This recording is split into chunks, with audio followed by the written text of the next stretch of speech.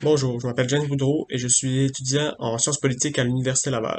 J'aimerais vraiment remercier l'ARCEPS qui m'offre une bourse de 1750 dollars euh, pour en fait le programme qui aide les étudiants en situation de handicap qui persévèrent dans leur milieu scolaire, mais aussi qui s'impliquent euh, dans leur milieu.